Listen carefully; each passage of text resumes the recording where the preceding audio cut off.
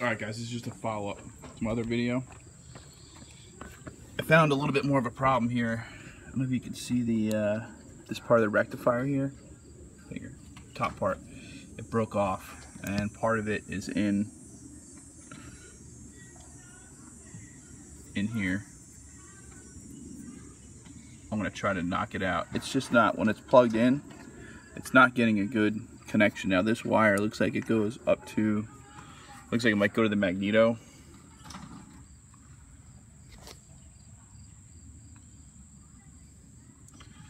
So anyway, I don't know if that might be the problem, but um, I'm getting 12.5 uh, 7 volts basically to the to the starter. So I don't know, man. I think it might be the starter, but like I said, I'm not an electrical person, so I don't really know. But nothing's happening once I once the power gets to starter.